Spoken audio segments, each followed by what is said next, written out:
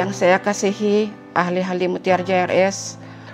Alhamdulillah dengan izin dan rahmatnya dapatlah kita berkumpul pada pagi ini untuk menjalankan mesyuarat agung tahunan Mutiara JRS ketiga tahun 2023.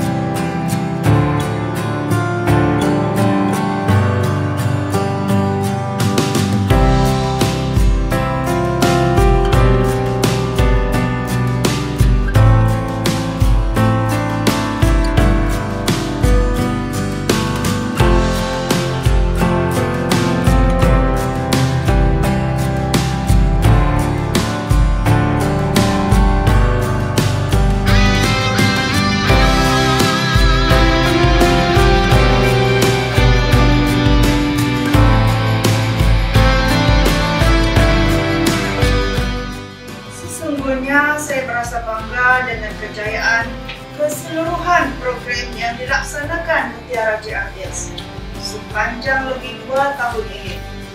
Semua ini adalah berkat kerjasama padu antara semua ahli.